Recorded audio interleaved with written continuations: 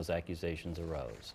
To Kenosha now, where a newly surfaced dash cam video is raising all sorts of questions about how one officer used his taser. Fox 6's Ben Handelman has the tape and spoke with the man who was on the receiving end of the electric bolts.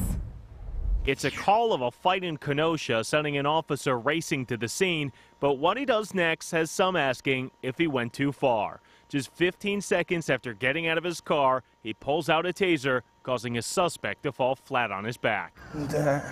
That man is 32 year old Keenan Smith.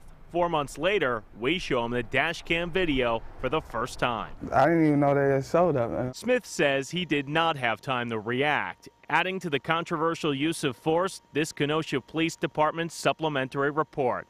In the officer's report, who we are not naming at this time, he writes he saw the subjects in boxer stances hitting each other with fists and wrote the subject turned, looked at me, and squared up to me. I believe this subject was going to fight me as well. I didn't even fight him, you know what I'm saying? I didn't even come at him, you know what I'm saying?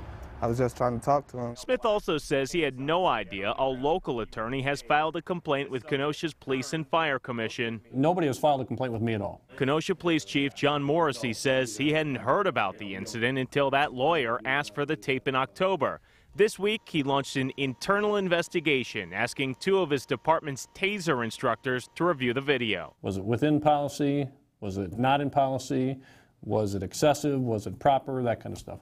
The commission will review the tape Tuesday. For Smith, it's a night he was trying to put behind him. I did, you know, so I tried to, you know, until y'all brought me back up. but is happy the case is being reviewed.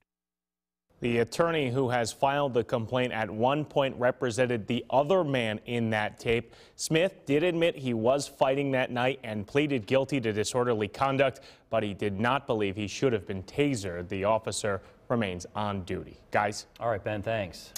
Well, as we told you earlier, four Milwaukee police officers